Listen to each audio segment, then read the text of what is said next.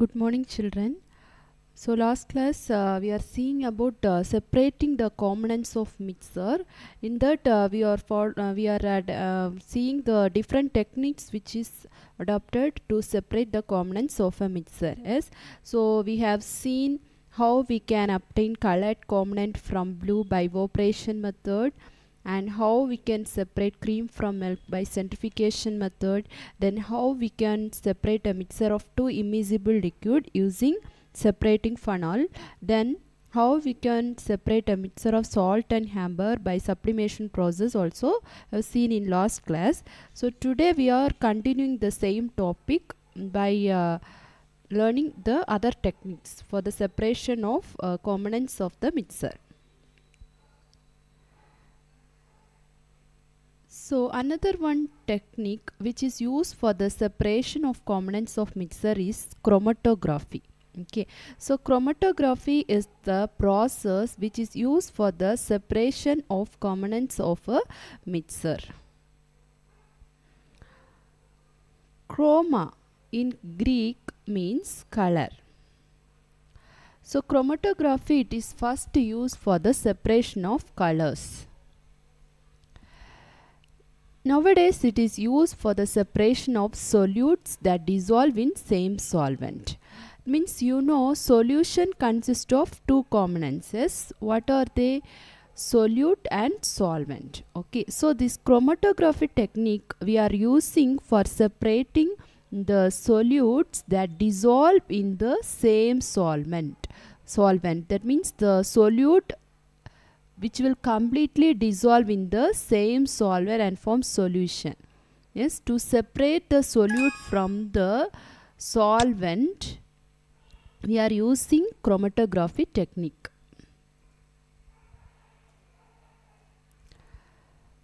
So let us see chromatography by using an activity which is given in your reader that is activity 2.7. For that you have to take a thin strip of filter paper. So you can see in the picture you have to take a thin strip of filter paper. Then you have to draw a line on it using a pencil. So approximately 3 centimeter above the lower edge. That means from the lower edge you have to above um, 3 centimeter above the lower edge you have to draw one line using pencil then you have to put a small drop of ink on the center of the line.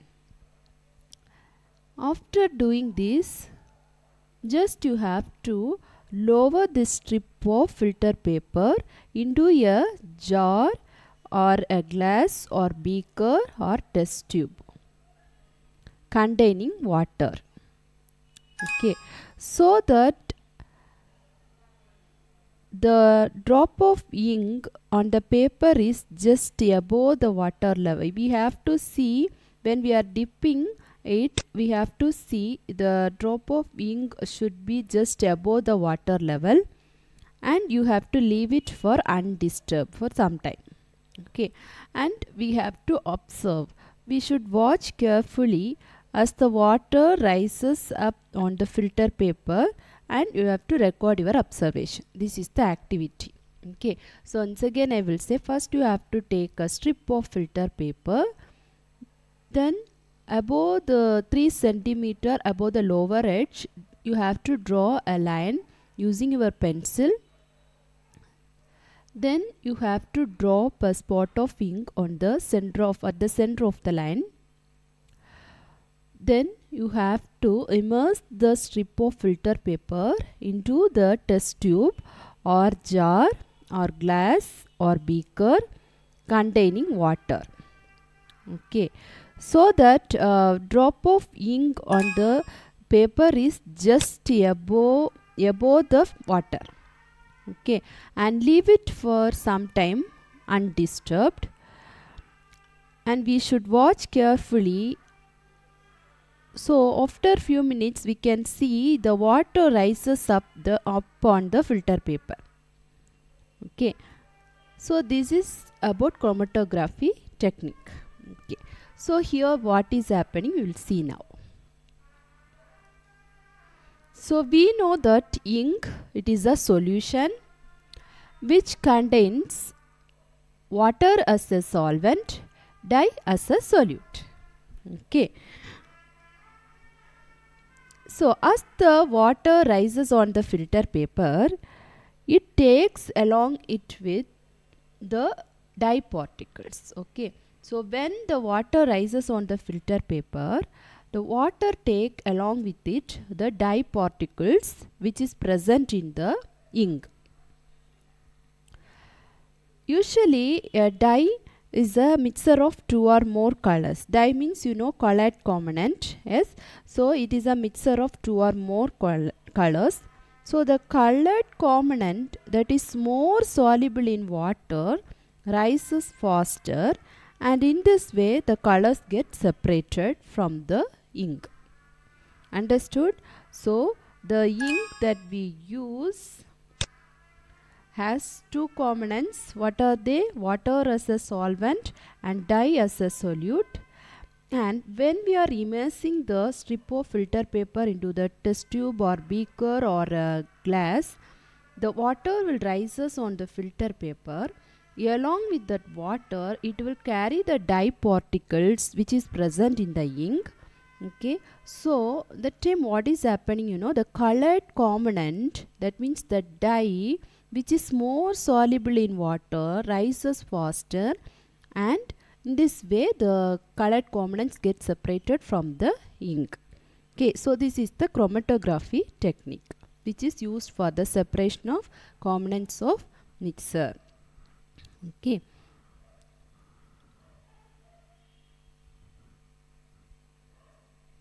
So application of chromatography. First use of chromatography is it is used for the separation of colors in a dye. It is used for the separation of pigments from natural colors. It is also used for the separation of drugs from blood. Okay, so these are some of the uses of chromatography. Now we are moving to another technique which is used to separate a mixture of uh, two miscible liquids that is distillation. So distillation means it is the process of separation of components of mixture containing two miscible liquid. Okay, so distillation this technique is used for separating the components of mixture which contains two miscible liquid. Okay. So, if these two or more miscible liquid present in the mixer have the difference in boiling point le less than 25 Kelvin, then uh, we will adopt the fractional distillation method. Okay. So, uh, if the boiling point is less than 25 Kelvin, that means the components present in the mixer containing the boiling point less than 25 Kelvin, then fractional distillation method is used. Understood children? So, distillation means what? It is the technique, it is the technique which is used for the separation of components of mixer which contains two miscible liquid. Okay, miscible liquid means you'll be having doubt as miscible liquid example water, acetone, etc. Okay, because miscible means the substance which is which can evaporate at normal temperature. So water if you are keeping uh, in a open vessel for some time it will start to evaporate you can uh, see the water level in the vessel become less after a uh, few hours yes due to the evaporation of water. So normally water also evaporate at normal temperature the same way acetone. Acetone already i have explained acetone is the nail polish remover we will use at our home. So if you are keeping uh, if you are pouring it on your palm it will easily vaporize. Yes? So at normal temperature, the liquid which are um, evaporating at normal temperature is called a miscible liquid. okay. So distillation is used for separating the mixture containing two miscible liquid. Okay. If the uh, mixture uh, containing the miscible liquid who is having the boiling point less than 25 kelvin then fractional distillation method is used. Understood no? Now we can see the apparatus which is used for the distillation. So apparatus which is used for the distillation process is this. So you can see in the slide as so this is the apparatus which is used for the separation of mixture of two miscible liquid. Okay? So it contains distillation flask okay and thermometer will be inserted into the distillation flask and distillation flask get connected with the condenser water condenser in which the water get condensed okay? And that condensed particles will be collected in the beaker okay? So this is the apparatus which is used for the separation of mixture of two miscible liquids. That means distillation process okay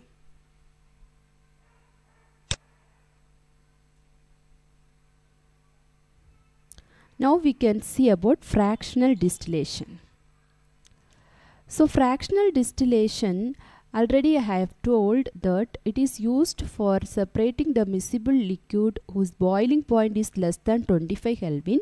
Not only that fractional distillation is also used for the separation of different gases from air, different fractions from petroleum products okay so air you know it is a mixture of gas. So different gases from the air also can be separated by using fractional distillation. And different fractions from petroleum products also can be separated using fractional distillation. So now we are going to see about the fractional distillation apparatus. Okay so fractional distillation uh, apparatus contain fractionating column which is fitted uh, between the distillation flask and the condenser. So this fractionating column is, is a tube, glass tube, packed with glass beads. The beads will provide the surface for the vapors to cool and condense repeatedly. Okay, understood children? So in fractional distillation, only one difference from the distillation apparatus that is it contain fractionating column so which is fitted between distillation flask and the condenser. Okay a simple fractionating column tube is packed with glass beads. That beads will provide surface for the vapors to cool and condense repeatedly Here you can see the apparatus which is used for the fractional distillation. So the apparatus uh, which is used for fractional distillation consists of what? Distillation flask. So here you can see the fractionating column which is fitted between the uh, water condenser and distillation flask. Okay.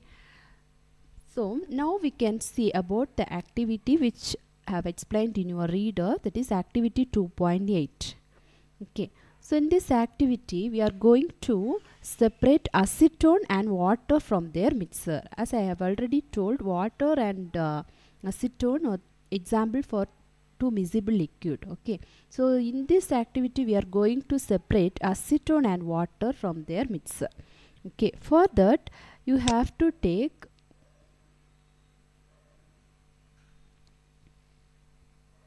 mixture of acetone and water in a distillation flask. Okay you have to take mixture of acetone and water in a distillation flask. Okay next fit it with a thermometer. Okay fit it with the thermometer. So arrange the apparatus uh, shown in the figure.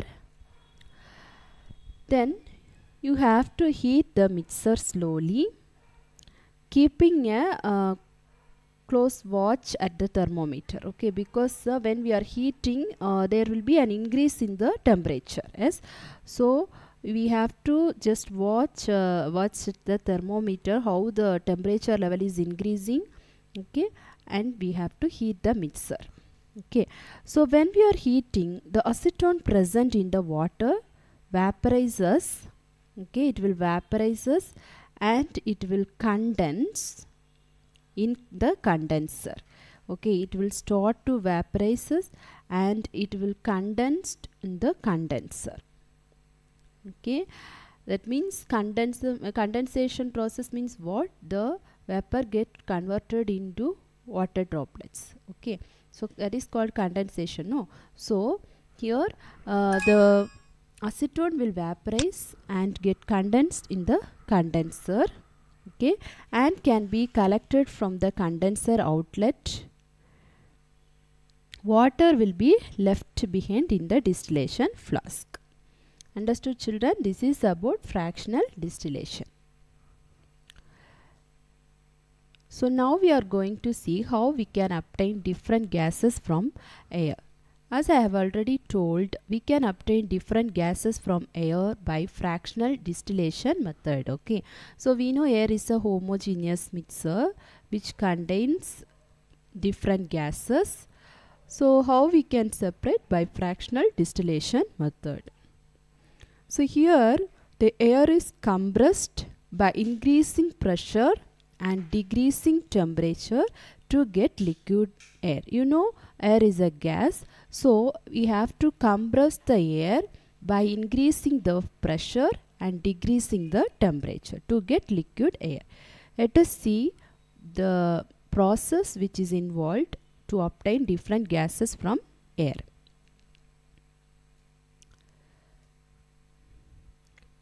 So here is the flow chart uh, which is showing the separation of gases from air. First we have to take a mixture of air. We have to compress the air and cool by increasing the pressure and decreasing temperature. Okay, how we will compress it by increasing pressure and we have to cool it by decreasing the temperature. Okay, so that it gets converted into liquid air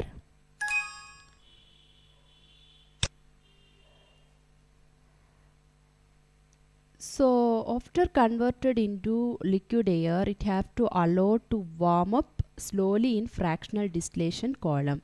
As I have explained fractional distillation method, we have to pour uh, the mixture of liquid air into the fractional distillation column and we have to uh, do the fractional distillation method. Okay, so there gases get separated at different height according to its boiling point. Okay. So this is the method how we can obtain the different gases from air. Understood children? For example, if you want oxygen gas from air, we have to separate out all other gases present in the air, isn't it? So just we have to compress the air by increasing the temperature, then cool by decrease the temperature to get liquid air. Then this liquid air is allowed to warm up slowly in a fractional distillation column where gases get separated at different height depending upon their boiling point. Understood children? Now we are going to see other technique which is used for obtaining the salt from an impure sample that is crystallization method. So crystallization method is used to purify solids. For example, the salt we get from seawater have many impurities in it to remove these impurities, we are using crystallization method. Okay, so crystallization is a process that separate a pure solid in the form of its crystals from a solution. Okay, so what is meant by crystallization? Crystallization is a process which separate a pure solid in the form of its crystals from a solution. So crystallization uh, method is better than evaporation. Why it is better than evaporation means uh, in evaporation method when we are heat when we are allowing it to heat some solid decompose or some like sugar may get charred on heating to dryness okay and one more thing is some impurities may remain in the solution even after filtration and which will contaminate the solid. Okay this is the disadvantage of evaporation. Okay so crystallization method is better than evaporation. Okay why crystallization is better than evaporation? Because in evaporation some solid will decompose uh, like sugar they will get charred on heating to dryness and uh, some impurities may remain uh, in the solution even after filtration so that uh, these uh, impurities can contaminate the solid. Okay. So crystallization is uh, crystallization method is better than evaporation method. Okay. So application of crystallization. It is used for the purification of salt we get from seawater it is also used for the separation of crystals of alum from impure samples. Okay. So these are about uses of crystallization method. I hope that you all understand about the different techniques which we are using for obtaining the components of mixer is and if you have any doubt you can ask children. I have sent notes through WhatsApp. Please copy the notes and read. Thank you children.